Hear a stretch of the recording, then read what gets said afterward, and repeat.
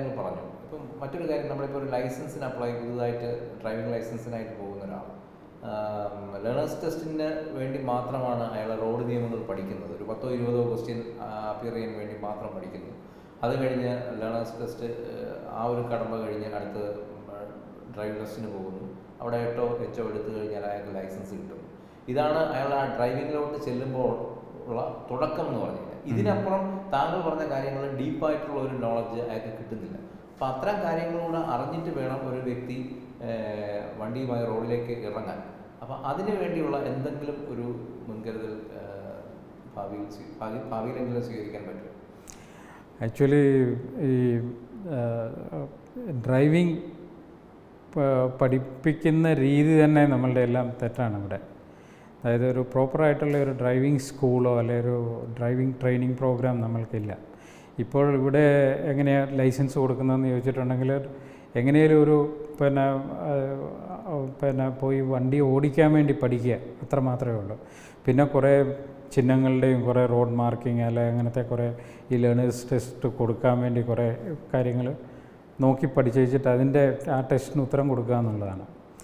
Actually അങ്ങനെയല്ല ഈ driver training എന്ന് പറയുന്നത് ഒരു വളരെ ഇമ്പോർട്ടന്റ് ആയിട്ടുള്ള ഒരു സംഗതിയാണ്. അതുകൊണ്ടാണ് പുറത്തെ രാജ്യങ്ങളൊക്കെ നമ്മൾ കേട്ടിട്ടുണ്ടായിരിക്കും ഗൾഫ് കൺട്രീസോ അല്ലെങ്കിൽ ഓസ്ട്രേലിയ അല്ലെങ്കിൽ യൂറോപ്പിലെ ഓരോ രാജ്യങ്ങൾ അമേരിക്കയിലൊക്കെ ഒരു ലൈസൻസ് എടുക്കുക എന്ന് പറയുന്നത് അതൊരു വലിയൊരു പ്രോസസ്സാണ് അവർ പിന്നെ ഇപ്പോൾ ലേണേഴ്സ് ലൈസൻസ് എന്ന് നമ്മളിവിടെ പറയുന്ന ലൈസൻസ് അവിടെ എടുക്കണമെന്നുണ്ടെങ്കിൽ അതിന് തന്നെ ഒരുപാട് ടെസ്റ്റുകളും സംഗതികളും എല്ലാം കഴിഞ്ഞെങ്കിൽ ആ ബേസിക് ആയിട്ടുള്ള ലൈസൻസ് നമുക്ക് കിട്ടത്തുള്ളൂ. അത് കിട്ടിക്കഴിഞ്ഞിട്ടുണ്ടെങ്കിൽ പിന്നെ നെക്സ്റ്റ് ലെവലിലേക്ക് നമ്മൾ ആ റിയൽ ലൈസൻസ് കിട്ടുന്നതിന് മുമ്പായിട്ട് ഒരുപാട് കാര്യങ്ങൾ പഠിക്കുക. അപ്പോൾ ഒരു ഇൻസ്ട്രക്ടറുടെ കൂട്ടത്തിൽ നമ്മൾ പോയി റിയൽ ടൈം അതായത് റിയൽ ലൈഫ് എക്സ്പീരിയൻസ് നമ്മൾ എടുത്തെങ്കിൽ മാത്രമേ നമുക്ക് അതായത് ഡിഫറെന്റ് സിറ്റുവേഷൻസിനെ എങ്ങനെ ഫേസ് ചെയ്യും ഡിഫറെന്റ് ട്രാഫിക് സിറ്റുവേഷൻസ് എങ്ങനെ ഫേസ് ചെയ്യും റോഡിൽ നമ്മൾ ഇറങ്ങിക്കഴിയുമ്പോഴുള്ള ഡിഫറെന്റ് ചാലഞ്ചസ് ഉണ്ട്. അതിനെ എങ്ങനെ ഫേസ് ചെയ്യും? നമ്മുടെ റോഡ് യൂസർ ബിഹേവിയർ എങ്ങനെ ആയിരിക്കണം? വാഹനത്തെ എങ്ങനെ കൈകാര്യം ചെയ്യണം? സ്പീഡ് പിന്നെ അത് സ്പീഡിൽ നമ്മളിപ്പം വണ്ടി തിരിക്കുകയാണെങ്കിൽ അതിനകത്ത് നമ്മൾ സ്പീഡ് കുറയ്ക്കേണ്ടത് എന്തുകൊണ്ടാണെന്നുള്ളതിന്റെ സയന്റിഫിക് ഫാക്ടേഴ്സ് ഇങ്ങനത്തെ ഒരുപാട് കാര്യങ്ങൾ അവർ പഠിപ്പിച്ചു തരും. അങ്ങനെ പഠിപ്പിച്ച് അതെല്ലാം പഠിച്ചു കഴിഞ്ഞിട്ട് അതെല്ലാം ഈ ടെസ്റ്റിനകത്ത് വരികയും ചെയ്യും. അതെല്ലാം ടെസ്റ്റ് ചെയ്യുന്നവർ നമ്മളുടെ കൂട്ടത്തിൽ വന്നിരുന്ന് ടെസ്റ്റ് ചെയ്തിട്ടാണ് ഫൈനൽ ലൈസൻസിങ്ങിലേക്ക് പോകുന്നത്. ഇപ്പോൾ എല്ലാം സിമുലേറ്റഡ് ആയിട്ടുള്ള സിനാറിയോസ് ഉണ്ട്. സിമുലേറ്റഡ് ആയിട്ടുള്ള ഡ്രൈവർ ട്രെയിനിങ് പ്രോഗ്രാംസ് ഉണ്ട്. അപ്പോൾ കമ്പ്യൂട്ടറിൽ തന്നെ അങ്ങനത്തെ സിറ്റുവേഷൻസ് മുഴുവനും സിമുലേറ്റ് ചെയ്യുന്നു. എന്നിട്ട് ആ ആ സിറ്റുവേഷനിൽ ഇയാൾ എങ്ങനെ അതിനെ പിന്നെ കൈകാര്യം ചെയ്തു എന്നുള്ളതൊക്കെ നോക്കിയിട്ടാണ് ലൈസൻസിങ് നടത്തുന്നത്. നമ്മൾക്കിവിടെ അങ്ങനത്തെ അഡ്വാൻസ്ഡ് ആയിട്ടുള്ള സിസ്റ്റംസ് ഒന്നുമില്ല. ഒന്നുമില്ല. അതാണ്. അപ്പം റോഡ് സേഫ്റ്റിയിൽ അങ്ങനെ ഫണ്ടമെന്റലായിട്ടുള്ള ഒരുപാട് കാര്യങ്ങൾ നമ്മൾ ശരിയാക്കേണ്ടതായിട്ടുണ്ട്. ബേസിക്കലി ആ ചെറിയ കാര്യങ്ങൾ തൊട്ട് ലൈസൻസിങ് തൊട്ട് മുന്നോട്ട് അങ്ങോട്ട് പോകുന്ന എല്ലാ കാര്യങ്ങളിലും നമ്മൾ ചേഞ്ചസ് കൊണ്ടുവന്നെങ്കിൽ മാത്രമേ റോഡ് സേഫ്റ്റി എന്ന് പറയും നമുക്ക് എന്തെങ്കിലും അച്ചീവ് ചെയ്യാൻ സാധിക്കത്തുള്ളൂ. അല്ലെങ്കിൽ ഇയർ ആഫ്റ്റർ ഇയർ അപകടം കൂടുക എന്നുള്ളതല്ല നമുക്ക് ഈ വിഷൻ സീറോ പോലെ നമുക്കിത് കുറച്ച് കൊണ്ടുവരാൻ പറ്റത്തില്ല. ഇപ്പം കഴിഞ്ഞൊരു പത്ത് വർഷമായിട്ട് കേരളത്തിന്റെ റോഡിന്റെ അവസ്ഥകളും കേരളത്തിലെ ഈ റോഡ് അപകടങ്ങളും ഒക്കെ അടുത്ത് നോക്കി കാണുന്ന ഒരാളാണ് താങ്കൾ. ഈ എങ്ങനെയാണ് കൂടുതൽ അപകടങ്ങൾ സംഭവിക്കുന്നത്? ഇപ്പോൾ ഇത്തരത്തിലൊരു പൊതുവെ പറയുകയാണെങ്കിൽ അപകടങ്ങൾ കൂടുതൽ സംഭവിക്കുന്നതിന്റെ മെയിൻ കാരണം എന്നാണെന്ന് ചോദിച്ചാൽ നമ്മൾ അപകടം ഇല്ലാതാക്കാൻ വേണ്ടി ഒന്നും ചെയ്യുന്നില്ല എന്നുള്ളതാണ്. ഇപ്പോൾ ഈ ചെയ്യുന്ന പല കാര്യങ്ങളും ഞാൻ പറഞ്ഞല്ലോ നേരത്തെ പറഞ്ഞല്ലോ റോഡ് സേഫ്റ്റി ഫണ്ടിനെ കുറിച്ച്. ഈ ഫണ്ട് ഉപയോഗിക്കുന്നത് പ്രോപ്പറായിട്ട് ഉപയോഗിക്കാത്തത് കൊണ്ടാണ്. ഇപ്പം ഡെവലപ്ഡ് രാജ്യങ്ങൾ പലരും ഈ അപകടങ്ങൾ കുറച്ച് കാരണം അവരൊക്കെ ഹൈലി മോട്ടറൈസ്ഡ് രാജ്യങ്ങളാണ്. ഇപ്പം ഉദാഹരണം പറഞ്ഞാൽ യു കെ ഒക്കെ എന്ന് പറഞ്ഞിട്ടുണ്ട് യു കെയിലെ റോഡുകളുടെ രീതി എന്നൊക്കെ പറഞ്ഞാൽ കേരളത്തിലെ റോഡ് പോലെ തന്നെയാണ്. വീതി കുറഞ്ഞ റോഡുകളും നമ്പർ ഓഫ് വെഹിക്കിൾസ് നമ്മളെ കഴിഞ്ഞും കൂടുതൽ അവർക്കുണ്ട്. എന്നിട്ടും അവരെല്ലാം അപകടം കുറച്ചുകൊണ്ട് വരികയാണ്. ഇത് കുറയ്ക്കുന്നത് എങ്ങനെയെന്ന് ചോദിച്ചാൽ വളരെ ടാർഗറ്റഡ് ആയിട്ടുള്ള പ്രോഗ്രാമുകളിൽ കൂടിയാണ്. അതായത് എന്തുകൊണ്ടാണ് അപകടം കുറയുന്ന അപകടം ഉണ്ടാകുന്നതെന്നുള്ളത് മനസ്സിലാക്കിയിട്ട് അത് കുറയ്ക്കാൻ വേണ്ടിയുള്ള പ്രോഗ്രാംസ് ചെയ്യുക. അപ്പോൾ അത് അപകടങ്ങൾ എന്തുകൊണ്ട് ഉണ്ടാകുന്നു എന്നുള്ളതിന് ഇന്ന് വരെ നമുക്ക് ഒരു ഒരു കോംപ്രിഹെൻസീവ് ഡേറ്റ ഇല്ല.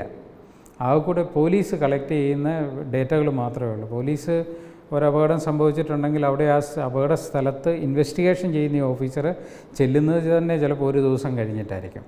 അപ്പോൾ അയാൾ അവിടെ ചെല്ലുമ്പോഴത്തേക്ക് അവിടെ ഒരു എവിഡൻസും കാണത്തില്ല. എന്തുകൊണ്ട് ഈ അപകടം സംഭവിച്ചെന്നുള്ള അറിയാനുള്ള എവിഡൻസുകളൊന്നും ടയർമാർക്കോ അങ്ങനത്തെ കാര്യങ്ങളൊന്നും കാണത്തില്ല. പിന്നെ അത് ആ ഇൻവെസ്റ്റിഗേഷൻ ഓഫീസർ അയാൾ അവിടെ നിന്ന ആൾക്കാരോടോ അല്ലെ അടുത്തുള്ള ആൾക്കാരോടോ എന്തെങ്കിലും ചോദിക്കും അതെല്ലാം എഴുതി വെക്കും. അത് ഓരോരുത്തർ ഓരോന്നാണ് പറയുന്നത്. ചിലർ പറയും ഭയങ്കര സ്പീഡായിരുന്നു എന്ന് പറയും. ഈ സ്പീഡ് എത്രയായിരുന്നു എന്നുള്ളത് നമുക്കൊരു സ്പീഡ് വണ്ടിയുടെ സ്പീഡ് കണ്ടാൽ പറയാൻ പറ്റത്തില്ലല്ലോ. ഇപ്പം ഞാൻ അൻപത് കിലോമീറ്റർ സ്പീഡായിരുന്നു പറയുന്നത്. ഇപ്പം സനോജ് ഇപ്പം അത് കണ്ടാൽ ചിലപ്പോൾ പറയും ഈ അമ്പതില്ല അത് അതിലും അത്രയും അത്രയും സ്പീഡ് ഇല്ലായിരുന്നു എന്ന് പറയും. അപ്പോൾ ഓരോരുത്തരുടെയും കാഴ്ചപ്പാടുകൾ വേറെയാണ്. അപ്പോൾ ഇതിനെല്ലാം സയന്റിഫിക്കലി കണ്ടുപിടിക്കാൻ പറ്റും. ആ വാഹനം അപകടം നടന്നപ്പോൾ എത്ര സ്പീഡിലായിരുന്നു പോയെന്നുള്ളത് സയന്റിഫിക്കലി കണ്ടുപിടിക്കാം. പിന്നെ ആ വാഹനത്തിന് വന്നിരിക്കുന്ന ഇമ്പാക്റ്റിനെ മെഷർ ചെയ്തിട്ടുണ്ടെങ്കിൽ അതിൽ വന്നിരിക്കുന്ന ഡെന്റ് ഇമ്പാക്റ്റ് ടയർ മാർക്ക് ഒരുപാട് കാര്യങ്ങളുണ്ട്. അതെല്ലാം സയന്റിഫിക്കലി ഇൻവെസ്റ്റിഗേറ്റ് ചെയ്യുകയാണെങ്കിൽ ഒരു ഫോറൻസിക് ടീമിന് ഇത് മുഴുവനും കണ്ടുപിടിക്കാൻ സാധിക്കും. അപ്പോൾ അങ്ങനെ ഓരോ ഡേറ്റകളും ഇപ്പം അതുപോലെ തന്നെ വാഹനത്തിന്റെ കാരണങ്ങൾ കൊണ്ട് അപകടം ഉണ്ടാകാം റോഡിന്റെ ഡിഫക്റ്റ് കൊണ്ടുണ്ടാവാം കാലാവസ്ഥയുടെ ഡിഫക്റ്റ് കൊണ്ടുണ്ടാവാം ഈ വാഹനം ഓടിച്ചുകൊണ്ടിരുന്ന വ്യക്തി ഇപ്പം ഉദാഹരണം പറഞ്ഞാൽ വളരെ നല്ല പോലെ വാഹനം എപ്പോഴും ഓടിക്കുന്ന ഒരു വ്യക്തിക്ക് പെട്ടെന്ന് ചിലപ്പം ബി പി കൂടുവോ? അല്ലെങ്കിൽ അയാളുടെ ഷുഗർ ലെവൽ കുറയുവോ? വല്ലതും ചെയ്ത് അയാളുടെ പെട്ടെന്ന് കൺട്രോൾ നഷ്ടപ്പെട്ടിട്ട് വേണേലും അപകടം ഉണ്ടാകും അപ്പം ഈ അപകടങ്ങളുടെ കാരണങ്ങൾ കണ്ടുപിടിക്കണമെന്നുണ്ടെങ്കിൽ പ്രധാനമായിട്ടും പോലീസ് ഡിപ്പാർട്ട്മെന്റ് മാത്രം ശ്രമിച്ചാൽ നടക്കത്തില്ല.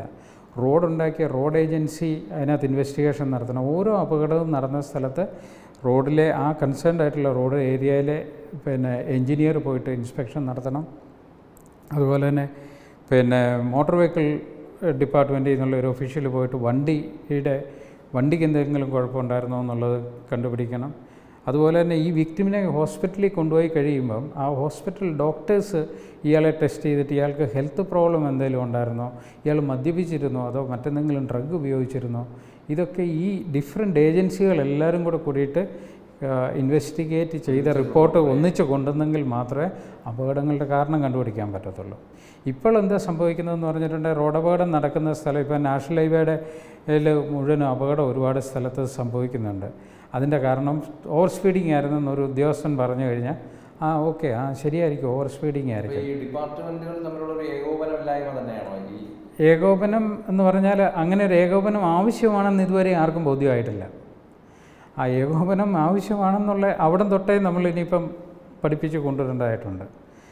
അപ്പോൾ അതൊക്കെയാണ് അതിനകത്തെ പ്രശ്നങ്ങൾ. ഈ ഏകോപനം ഏകോപനം ഉണ്ടാവണമെന്നുണ്ടെങ്കിൽ ആദ്യമായിട്ട് വേണ്ട എന്തെന്ന് ചോദിച്ചാൽ ഇതിനെ മാനേജ് ചെയ്യാനുള്ള ഒരു ഒരു road accident data management system ഒരു സോഫ്റ്റ്വെയർ ഉണ്ട്. ഇപ്പം ഡെവലപ്ഡ് രാജ്യങ്ങളും ഡെവലപ്പിംഗ് കൺട്രീസും എല്ലാം വളരെ ഗ്ലോബലി എക്സ്റ്റെൻസീവ്ലി ഉപയോഗിക്കുന്ന ഒരു സോഫ്റ്റ്വെയറാണ് ആ സോഫ്റ്റ്വെയർ എല്ലാ ഡിപ്പാർട്ട്മെന്റുകൾക്കും ഇതിന്റെ ഓരോ അഡ്മിനിസ്ട്രേറ്റീവ് ഹാൻഡിൽ കൊടുക്കും.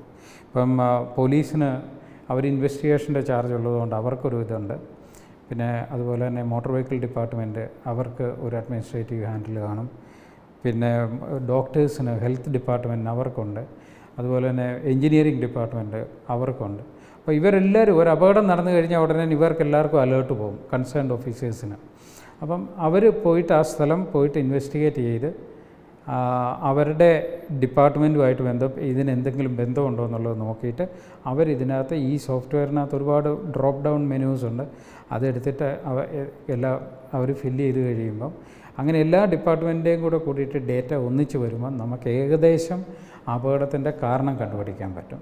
അങ്ങനെ അപകടങ്ങളുടെ കാരണങ്ങൾ കണ്ടുപിടിച്ചിട്ട് അതിനെ ഇല്ലാതാക്കാൻ വേണ്ടി നമ്മൾ ട്രീറ്റ് ചെയ്യേണ്ടത്. അല്ലാതെ ഒരേ സ്ഥലത്ത് തന്നെ പിന്നെ പല അപകടങ്ങൾ സംഭവിച്ചാൽ പല അപകടങ്ങളും പല കാരണങ്ങൾ കൊണ്ട് ഒരേ സ്ഥലത്ത് സംഭവിക്കാം. അപ്പോൾ എല്ലാ അപകടവും സ്പീഡ് കൊണ്ടായിരുന്നു അല്ലെ എല്ലാ അപകടവും മദ്യപിച്ച് വന്നതുകൊണ്ടായിരുന്നു എന്ന് പറഞ്ഞിട്ട് കാര്യമില്ല. അത് നമ്മൾ വളരെ ഡീറ്റെയിൽഡ് ആയിട്ട് അപ്പോൾ അതുകൊണ്ട് എപ്പോഴും റോഡ് സേഫ്റ്റി എക്സ്പേർട്സ് പറയുന്നത് every road accident is unique എന്നാണ് പറയുന്നത്. അതായത് വേറൊരു റോഡ് ആക്സിഡന്റുമായിട്ട് നമുക്ക് താരതമ്യം പെടുത്താൻ പറ്റത്തില്ല ഒരു അപകടത്തെ.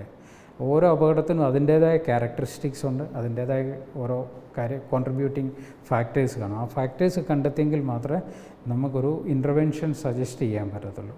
അപ്പോൾ അങ്ങനെ ഫോക്കസ്ഡ് ആയിട്ടുള്ള ഒരു ഇന്റർവെൻഷൻ നടത്താത്തത് കൊണ്ടാണ് നമ്മൾക്ക് അപകടം കുറയ്ക്കാൻ സാധിക്കാത്തത്. അതാണ് എനിക്ക് തോന്നുന്നത്. മറ്റൊരു കാര്യം നമ്മളെ ഈ റോഡ് സേഫ്റ്റിയിലെ ശിക്ഷാ നടപടികളെ കുറിച്ചാണ്. ഈ ശരിക്കും ശിക്ഷാ നടപടികൾ കൊണ്ടുവരുന്നതിനേക്കാളും ആദ്യം ഒരു ബോധവൽക്കരണമല്ലേ ആവശ്യം നമ്മളൊരു ചിത്രം പറയുവാണെങ്കിൽ ഒരിടത്ത് ഹെൽമെറ്റ് ഹെൽമെറ്റ് ചെക്കിങ് നടക്കുവാണ്. അവിടെ എങ്ങനെ പോലീസിനെ വെട്ടിക്കാം എന്നാണ് ഈ വരുന്ന ആൾ ചിന്തിക്കുന്നത്. അല്ലാതെ അയാളുടെ സേഫ്റ്റിക്ക് വേണ്ടിയുള്ള ഒരു സാധനം ഉപയോഗിക്കാത്തതുകൊണ്ടാണ് ഈ ചെക്കിങ് നടക്കുന്നതെന്ന് വരുന്നില്ല. മറുവശത്ത് പോലീസുകാർ ഇവരോട് കാണിക്കുന്ന സമീപനവും അങ്ങനെയാണ്. അപ്പം അത് ഇത് ഈ രണ്ട് ഭാഗങ്ങളും ചർച്ച ചെയ്തുകൊണ്ട് തന്നെ അതിനെ മാറ്റി നിർത്തിക്കൊണ്ട് ഒരു ബോധവൽക്കരണം എന്ന ഒരു ലെവലിൽ പോവുകയല്ലേ? നമ്മളിപ്പോൾ ഡെവലപ്ഡ് കൺട്രീസിന്റെ ഒരു കാര്യങ്ങൾ പറഞ്ഞു. അപ്പൊ അവിടെ എല്ലാം അവലംബിക്കുന്ന രീതി എന്നുള്ള രീതിയിൽ ഒന്ന് കൊണ്ടുപോയിട്ട് അടുത്ത ഒരു അതിന്റെ പീക്ക് എത്തുമ്പോൾ പോലെ ശിക്ഷാ നടപടി എന്നുള്ളതാണ്. അതെ തീർച്ചയായിട്ടും. അങ്ങനെ തന്നെയാണ് വേണ്ടത്. കാരണം റോഡ് സേഫ്റ്റി എൻഫോഴ്സ്മെന്റ് എന്ന് പറയുന്നത് എൻഫോഴ്സ്മെന്റ് തന്നെയായിട്ട് ഒരിടത്തും സക്സസ്ഫുൾ ആയിട്ടല്ല. Enforcement should be combined with awareness എന്നാണ് പറയുന്നത്. എൻഫോഴ്സ്മെന്റും അവെയർനെസ്സും കൂടെ കൂടിയിട്ട് ഒന്നിച്ച് കമ്പൈൻ ചെയ്ത് ചെയ്തെങ്കിൽ മാത്രമേ അത് വർക്ക് ചെയ്യത്തുള്ളൂ. അപ്പോൾ അതെങ്ങനെയാണ് ചെയ്യേണ്ടതെന്ന് ചോദിച്ചാൽ ഇപ്പോൾ പുതുതായിട്ടൊരു കാര്യം എൻഫോഴ്സ് ചെയ്യാൻ വേണ്ടി തീരുമാനിച്ചിട്ടുണ്ടെങ്കിൽ ഇപ്പോൾ ഹെൽമെറ്റ് എൻഫോഴ്സ്മെന്റ് ഇപ്പോൾ കഴിഞ്ഞ ഇപ്പോൾ രണ്ട് ദിവസമായി പില്യൺ റൈഡേഴ്സിനും എൻഫോഴ്സ് ഹെൽമെറ്റ് വേണമെന്നുള്ളത് സ്ട്രിക്റ്റ് ആക്കിയിട്ടുണ്ട്. അപ്പോൾ ഇത് ഒരുപാട് വർഷങ്ങളായിട്ട് പറയുന്ന ഒരു കാര്യമാണ്. കാരണം വണ്ടി ഓടിക്കുന്ന ആൾക്ക് ഉള്ള അതേ ഇമ്പാക്റ്റ് തന്നെയാണ് പില്യൺ റൈഡർക്കും ഉള്ളത്. അപ്പം ഇതിപ്പോഴാണ് കാരണം കോടതി പറഞ്ഞു കഴിഞ്ഞപ്പോഴാണ് അത് സീരിയസ് ആയിട്ട് ഗവൺമെന്റും അത് സീരിയസ് ആയിട്ട് എടുക്കുന്നത്. പക്ഷേങ്കിൽ ഇത് നമ്മളിപ്പോൾ എൻഫോഴ്സ് ചെയ്യാൻ വേണ്ടി സഡൻലി അങ്ങോട്ട് പോയി എൻഫോഴ്സ് ചെയ്തിട്ടുണ്ടെങ്കിൽ പബ്ലിക്കിൽ നിന്ന് അതിന്റെ ഒരു റെസിസ്റ്റൻസ് ഉണ്ടാകും കാരണം ജനങ്ങളെപ്പോഴും ഒരു ചേഞ്ച് ഒരു പെട്ടെന്ന് ഒരു ചേഞ്ച് അവരുടെ അവർ സ്ഥിരം ശീലിച്ചിരുന്ന് നിന്ന് ഒരു ചേഞ്ച് നമ്മൾ സജസ്റ്റ് ചെയ്താൽ പെട്ടെന്ന് അത് അവർ അവരുടെ എന്താ പറയുന്നത് അവരുടെ സ്വകാര്യത അല്ലെ അവരുടെ ഫ്രീഡത്തിൽ ഉള്ള ഒരു കടന്നുകയറ്റമായിട്ടാണ് അവർ എടുക്കുന്നത്. അപ്പം എന്തുകൊണ്ടാണ് ഈ പില്യൺ റൈഡേഴ്സും ഹെൽമെറ്റ് ധരിക്കേണ്ടത് എന്നുള്ളതിന്റെ സയന്റിഫിക് വശങ്ങൾ അവരെ ധരിപ്പിക്കുന്ന രീതിയിൽ ഫോക്കസ്ഡ് ആയിട്ടുള്ള ഒരു ക്യാമ്പയിൻ ആദ്യമേ നടത്തണം. അങ്ങനെയാണ് ലോകം മുഴുവനും ചെയ്യുന്നത്. എപ്പോഴും എൻഫോഴ്സ്മെന്റിന് മുമ്പായിട്ട് ഒരു ഫോർ റണ്ണറായിട്ട് നമ്മളൊരു ക്യാമ്പയിൻ നടത്തും. ആ ക്യാമ്പയിൻ വളരെ സയന്റിഫിക് ആയിട്ട് നമ്മൾ എക്സ്പ്ലെയിൻ ചെയ്യും. അതായത് ഒരു ടാർഗറ്റ് ഓഡിയൻസ് ഇപ്പോൾ ടൂ വീലർ റൈഡേഴ്സും അവരുടെ ബാക്കിലിരിക്കുന്നവർക്കും ആണെങ്കിൽ ആ ഒരു ഒരു പിന്നെ ടാർഗറ്റഡ് ആയിട്ടുള്ള ഒരു ക്യാമ്പയിൻ ഡിസൈൻ ചെയ്യണം. അപ്പം ആ ക്യാമ്പയിൻ അങ്ങനെ ഫോക്കസ്ഡ് ആയിട്ടുള്ള ഒരു ക്യാമ്പയിൻ നടത്തി എന്നിട്ട് അത് സക്സസ്ഫുൾ ആയിരുന്നോ എന്നുള്ളത് അസസ്സും കൂടെ ചെയ്ത് വെച്ചിട്ട് ആ അസസ്മെന്റിന്റെ ബേസിസിൽ വേണം നമ്മൾ എൻഫോഴ്സ്മെന്റ് റോൾ ഔട്ട് ചെയ്യാൻ വേണ്ടി. അത് ഇല്ലാതെ ചെയ്യുന്നത് തീർച്ചും എഫക്റ്റീവ് ആയിരിക്കില്ലെന്നാണ് എന്റെ അഭിപ്രായം. എന്റെ ഒരു അവസാന ഭാഗത്ത് നമ്മൾ ചോദിക്കാനുള്ളത് ഈ നമ്മളെ ഒരുപാട് അപകടങ്ങൾ സംഭവിച്ച് ഇന്നും ജീവിച്ചിരിക്കുന്ന ഒരുപാട് ആളുകളുണ്ട് സർവൈവേഴ്സ് എന്ന് പറയുന്നത് ഇപ്പം അവരെ പുനരുജ്ജീവിപ്പിച്ച് തിരിച്ച് ജീവിതത്തിലേക്ക് മടക്കി കൊണ്ടുവരാൻ റോഡ് സേഫ്റ്റി അതോറിറ്റി എന്തെങ്കിലും നടപടികൾ കൈക്കൊള്ളുന്നുണ്ടോ അങ്ങനെ എന്തെങ്കിലും ഒരു പ്രോജക്റ്റ് ഉണ്ടോ നിലവിൽ? നിലവിൽ അങ്ങനെ ഒരു പ്രൊജക്റ്റ് ഉള്ളതായിട്ട് എനിക്കറിയത്തില്ല. പക്ഷേങ്കിൽ ഈ പോസ്റ്റ് ക്രാഷ് മാനേജ്മെന്റ് എന്ന് പറയുന്ന ആ ഏരിയ അതായത് അപകടം നടന്ന ആ നിമിഷം മുതൽ മുന്നോട്ടുള്ള സമയം അതായത് ഈ വിക്ടിമിനെ അവിടുന്ന് എക്സ്ട്രിക്കേറ്റ് ചെയ്ത് സേഫായിട്ട് അവിടുന്ന് ഹാൻഡിൽ ചെയ്ത് ഇയാളെ അവിടെ നിന്ന് ഒരു ഫസ്റ്റ് എയ്ഡ് കൊടുത്ത് അടുത്ത ഹോസ്പിറ്റലിൽ എത്തിക്കുന്ന വരെ ഉള്ളതും അത് കഴിഞ്ഞ് ഹോസ്പിറ്റലിൽ എത്തിച്ച് കഴിഞ്ഞിട്ട് പിന്നെ അവർക്ക് കൊടുക്കുന്ന ട്രീറ്റ്മെന്റ് പിന്നെ അത് കഴിഞ്ഞിട്ട് അവരെ റീഹാബിലിറ്റേറ്റ് ചെയ്യുന്ന ഇതെല്ലാം കൂടെ കൂടി ഉൾപ്പെട്ടതാണ് പോസ്റ്റ് ക്രാഷ് മാനേജ്മെന്റ് എന്ന് പറയുന്നത്. അതിനിന്ന് നമ്മളുടെ ഈ ഇന്ത്യയിൽ പൊതുവെ എങ്ങും അതിനൊരു പ്രാധാന്യം കൊടുക്കുന്നില്ല. കാരണം റോഡ് സേഫ്റ്റിയിൽ അഞ്ച് പില്ലേഴ്സ് ഉള്ളതിനകത്ത് ഏറ്റവും ലാസ്റ്റിലത്തെ മെയിൻ പില്ലറാണ് പോസ്റ്റ് ക്രാഷ് മാനേജ്മെന്റ് എന്ന് പറയുന്നത്. പോസ്റ്റ് ക്രാഷ് മാനേജ്മെന്റ് അൺഫോർച്ചുനേറ്റ്ലി നമ്മൾ അധികം പ്രാധാന്യം കൊടുക്കുന്നില്ല. അത് വളരെ ഇമ്പോർട്ടന്റ് ആണ്. കാരണം അപകടം ഇല്ലാതാക്കാൻ വേണ്ടി നമ്മൾ ശ്രമിക്കുന്ന പോലെ തന്നെ ഒരു അപകടം ഉണ്ടായി കഴിഞ്ഞിട്ടുണ്ടെങ്കിൽ എന്ത് ചെയ്യണം? ഏത് രീതിയിലാണ് ആ വിക്ടിമിനെ കാരണം ഇത് നമ്മൾ മറി മരിക്കുന്ന കണക്കുകളെ നമ്മൾ പലപ്പോഴും അറിയാറുള്ളൂ. അത് തന്നെ പലപ്പോഴും അറിയുന്നില്ല.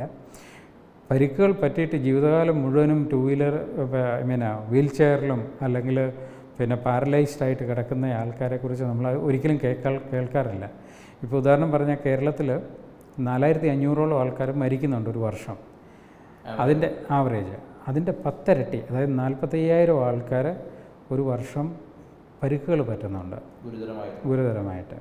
ഈ നാൽപ്പത്തയ്യായിരം ആൾക്കാർക്ക് പരിക്ക് പറ്റുന്നതിൽ ഒരു ട്വന്റി ടു തേർട്ടി പെർസെന്റ് ആൾക്കാർ അംഗവൈകല്യം സംഭവിച്ചും പാരലൈസ്ഡ് ആയിട്ടും ജീവിതകാലം മുഴുവനും കടന്നു പോവുകയാണ് ചെയ്യുന്നത്. അപ്പം അതിൽ ആ വിക്ടിം മാത്രമല്ല പിന്നെ അതിനകത്ത് സഹിക്കുന്നത്. അയാളെ ശുശ്രൂഷിക്കാൻ വേണ്ടി നിൽക്കുന്ന ഫാമിലി മെമ്പേഴ്സും എല്ലാവരും അതിനകത്ത് ഉൾപ്പെടുന്നതുകൊണ്ട് ഡബ്ല്യു എച്ച് ഒയുടെ ഒരു കണക്ക് പ്രകാരം ഇങ്ങനത്തെ ഒരു അപകടം സംഭവിച്ചു കഴിഞ്ഞിട്ടുണ്ടെങ്കിൽ ആ ഫാമിലിയുടെ ഏണിംഗ് ഇപ്പോൾ ഏണിംഗ് മെമ്പറാണ് ക്കാണ് ഇത് സംഭവിച്ചെങ്കിൽ ആ ഫാമിലിയുടെ പിന്നെ എക്കണോമിക് സ്റ്റാറ്റസ് വളരെ പുവറായിട്ട് അവർ ബിലോ പോവർട്ടി ലൈനിലേക്ക് വീണു പോകാറുണ്ട് പലപ്പോഴും. അപ്പോൾ അതാണ് കണക്കുകൾ സൂചിപ്പിക്കുന്നത്. അപ്പം ഈ പോസ്റ്റ് ക്രാഷ് മാനേജ്മെന്റിന് വളരെ തുല്യ പ്രാധാന്യം തന്നെ അതോറിറ്റീസ് കൊടുക്കണമെന്നാണ് ഞാൻ പറയുന്നത്. അപ്പോൾ ഈ പത്ത് വർഷത്തെ ഒരു എക്സ്പീരിയൻസ് വെച്ചിട്ട് നമ്മൾ അതിൽ നിന്നൊരു അഞ്ച് പോയിന്റ് സോർട്ട് ചെയ്ത് ഒരുപാട് കോമ്പണൻസിനെ കുറിച്ച് താങ്കൾ പറഞ്ഞു. അതിൽ നിന്നൊരു അഞ്ച് പോയിന്റ് സോർട്ട് ചെയ്ത് നമ്മൾ ഗവൺമെന്റിനെ സബ്മിറ്റ് ചെയ്യാൻ പറഞ്ഞാൽ റോഡ് അപകടങ്ങൾ കുറയ്ക്കാൻ വേണ്ടി താങ്കൾ മുന്നോട്ട് വയ്ക്കുന്ന അഞ്ച് പോയിന്റുകൾ നിർദ്ദേശങ്ങൾ എന്തൊക്കെയായിരിക്കും? അഞ്ച് പോയിന്റ് വളരെ ഈസി ആയിട്ട് പറയാം. കാരണം ഏറ്റവും ഇമ്പോർട്ടന്റ് ആയിട്ടുള്ളത് ഞാൻ ഡേറ്റയ്ക്കാണ് കൂടുതൽ പ്രാധാന്യം കൊടുക്കുന്നത്. നമുക്ക് സയന്റിഫിക് ഡേറ്റ ആവശ്യമാണ്. ഈ സയന്റിഫിക് ഡേറ്റയുടെ ബേസിൽ മാത്രമേ നമുക്ക് അപകടങ്ങളുടെ കാരണങ്ങൾ കണ്ടുപിടിക്കാൻ സാധിക്കത്തുള്ളൂ. അപകടങ്ങളുടെ കാരണങ്ങൾ കണ്ടുപിടിച്ചെങ്കിൽ മാത്രമേ നമുക്കത് ഇല്ലാതാക്കാൻ വേണ്ടിയുള്ള സ്റ്റെപ്സ് എടുക്കാൻ പറ്റത്തുള്ളൂ. രണ്ടാമത്തെ റോഡുകളുടെ നിർമ്മാണത്തെക്കുറിച്ചാണ്. Engineering side. അത് റോഡുകളിൽ ആ ഒരു അപകടം സംഭവിച്ചാൽ തന്നെ ആ അപകടത്തിന്റെ ആഘാതം ഇല്ലാതാക്കാൻ വേണ്ടി എത്രമാത്രം ആഘാത അതായത് അതിന്റെ പരിക്കുകൾ കുറയ്ക്കാൻ വേണ്ടി എത്രമാത്രം സേഫായിട്ട് റോഡിനെ നിർമ്മിക്കാമെന്നുള്ള ആ സേഫ് സിസ്റ്റം അപ്രോച്ച് അനുസരിച്ച് റോഡുകൾ നിർമ്മിക്കുക എന്നുള്ളതാണ്. മൂന്നാമത്തെ സംഗതി നമ്മളുടെ റോഡ് യൂസർ ബിഹേവിയർ ബിഹേവിയറിനെ എപ്പോഴും അതായത് റോങ് റോഡ് യൂസർ ബിഹേവിയറിനെ എപ്പോഴും അഡ്രസ്സ് ചെയ്യണമെന്നുണ്ടെങ്കിൽ അവെയർനെസ് എഡ്യൂക്കേഷൻ പിന്നെ എൻഫോഴ്സ്മെന്റ് ഇതെല്ലാം കൂടെ കൂടിയിട്ട് ഒന്നിച്ച് പ്രോപ്പറായിട്ട് കൊടുത്തെങ്കിൽ മാത്രമേ സാധിക്കത്തുള്ളൂ.